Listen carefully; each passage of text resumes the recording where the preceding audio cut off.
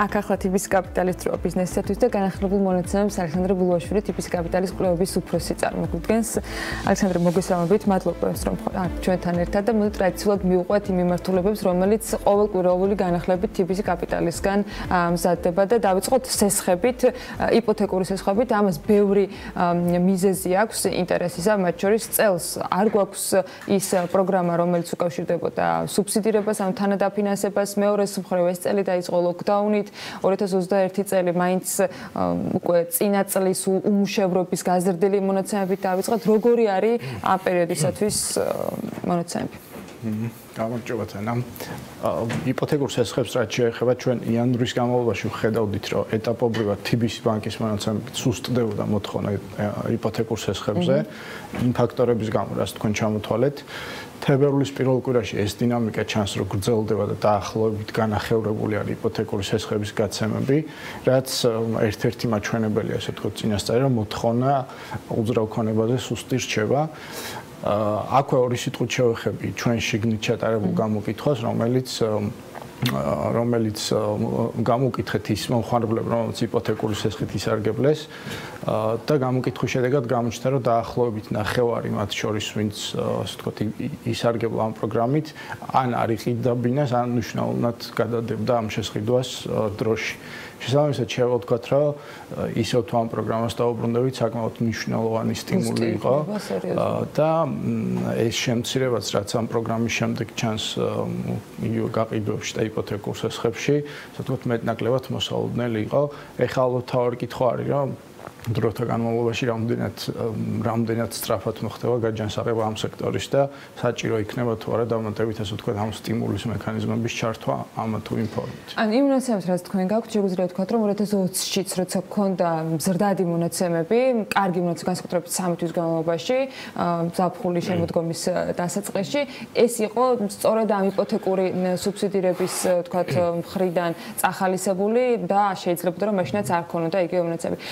მინდა კითხოთ იმ ფონზე რომ დღეს შემცირება გვაქვს როგორ ნაწილდება ახალდაშენებული ბინების ანუ დეველოპერების განაყედი ბინების და თქო ძველი ბინების იპოთეკური სესხები. ამ ამ სტრუქტურაშიც გაჩნდა ცვლილება ეს ყოველკვირეულ ბაზის ვერ ვაკვირდებით ამ მონაცემებს, რადგან ესეთი მაღალი სიხშირის მონაცემები არ არის, თუმცა ბუნებრივი იქნება იქიდან გამომდინარე, რომ ძირითადად პირველად ბინებს ეხება სუბსიდირების პროგრამა, გაყიდვებით ამის დასრულების შემდეგ ძირითადად ამ სექტორში შემცირდებოდა.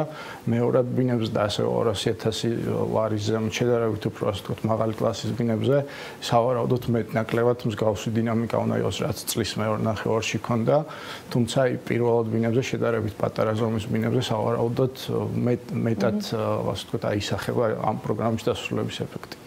თებერვალში უკვე მოხსნილი ლოკდაუნის პირობებში ძალიან საინტერესო არის რამდენად სწრაფად დაიწყო მათ შორის მომხმარებელმა ხარჯვა და მეორე მხრივ ბიზნესმა შემოსავლის მიღება. დავიწყოთ ჯერ რეზიდენტების უნაღდო დანახარჯებზე დაკვირვებით, რო შევადაროთ იგივე გაზაფხული თქვა ლოკდაუნის შემდეგ, იმიტომ რომ მაშინ მქონდა ჩვენ გადავადებული მოთხოვნის გამომჟღავნება, როდესაც განსაკუთრებულად აქტიური იყო გაყიდვები და ხარჯვითი ნაწილიც. დღეს რა სურათი მივიღეთ? მივიღეთ ამ ლოკდაუნის შემდეგ. როგორც თქვენ აღნიშნეთ, ბოლო ორი კვირა არის ნაწილობრივ შემსუბუქდა შეზღუდვები. ისედაც შეზღუდვები შედარებით უფრო მსუბუქი იყო ვიდრე გაზაფხულზე იმ პერიოდს თუ შევადარებთ ეს ციფრებში ჩანს. თუ ისაუბრეთ ჯამურ დანახარჯებზე, რეზიდენტების მხრიდან უნაღდო დანახარჯებზე, აქ დაახლოებით 20%-იანი შემცირება ქონდა დეკემბრის იმ პერიოდში, როცა შეზღუდვები მოქმედებდა და ასევე იანვრის თითქმის მთელი იანვრის განმავლობაში და პირველ ორ კვირაში შეზღუდვების შემსუბუქების შემდეგ დავინახეთ ისე საკმაოდ სწრაფი ამობრუნება ამ მაჩვენებელში ბოლო კვირაში 9 თებერვლის კვირაში დაახლოებით 17%-ით არის გაზრდილი ჯამურად უნაღდო დანახარჯები რეზიდენტების მხრიდან, რაც რაც მიუთითებს, რომ გადადებული მოთხოვნა არსებობს და ზოგადად შეზღუდვების ასე ვთქვათ მოხსნის შემთხვევაში და გაგრძელების შემთხვევაში რის საშუალებაც უნდა მოხდეს ასე ვთქვათ ეპიდემიოლოგიურმა სიტუაციამ.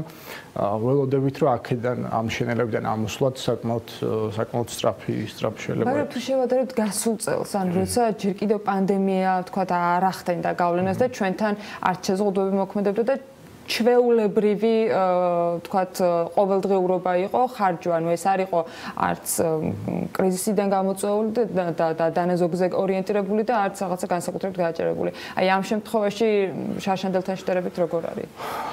ხო, ის ციფრები, რაზეც საუბრობთ, იგივე ეს 20%-იანი შემცირება დეკემბრის და იანვრის განმავლობაში დაახლოებით ჯამურად უნაღდო დანახარჯებში რეზიდენტების ხრიდან ეს არის შედარებული წინა წლის იმავე პერიოდებთან, როცა მოიხსენებათ, რომ დეკემბერში და იანვარში თებერვლის გარკვეულ ძირითად ნაწილში, ვთქვათ, ეს პანდემიური ეფექტი ჯერჯერობით არ ქონდა.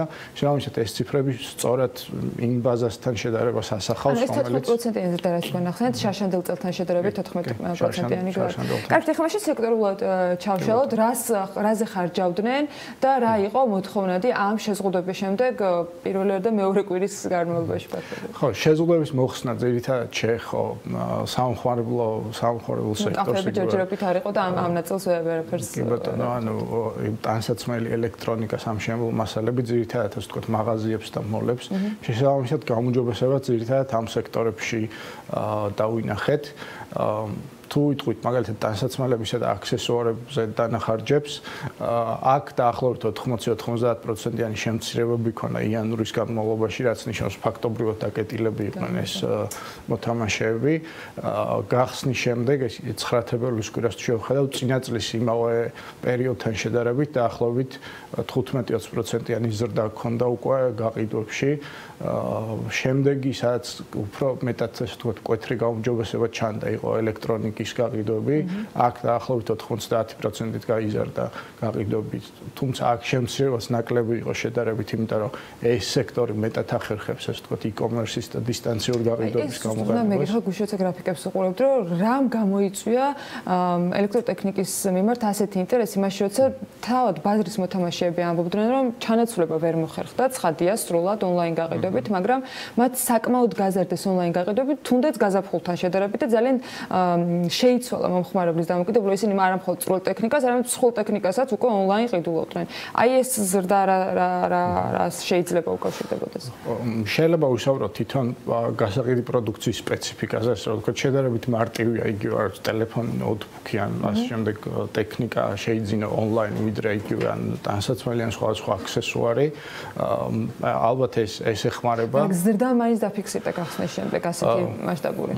კი, რა თქმა უნდა, ნუ გადადებული ეფექტი ბუნებრივია, რომ გარკვეულწილად ეს e-commerce ეხმარება, თუმცა ეს გადადებული მოთხოვნის ეფექტი ამ სექტორში იქნებოდა აქ შეიძლება ვთქვათ, რომ იგივე ის საკმაოდ ეფექტური, ესე ვთქვათ, იპოთეკური სუბსიდირების პროგრამა, რომელიც წინა წელს იყო, თავისთავად ეს მოიცავს იმასაც, რომ მოთხოვნა ზრდის, ასე ვთქვათ, ესეთი ტიპის საოჯახო ტექნიკაზე და შესაძლოა ამ სექტორში ზოგადად უფრო ძლიერი მოთხოვნა ქონდეს რა იმასთან შედარებით ვიდრე დაუშვიგივე ტანსაცმლის ან სხვა სხვა სამხარებელ სექტორებში გვაქვს. ან ჩვენი ახსნა ალბათ ეს იქნება რა ის ასე ვთქვათ იპოთეკური შესხების და ბინების გაყიდვების და ასევე ეხმარება ამ ამ სექტორის გაყიდვებს. ანუ ეს შეიძლება იყოს გაგრძელება მათ შორის ახალი ბინების ან მარტივად რა ვთქვათ რომ თუ ახალ ბინას ყიდულობს ზაფხულში ადამიანი ამ დროისათვის შეიძლება უკვე მის მოწყობაზე იყოს ორიენტირებული.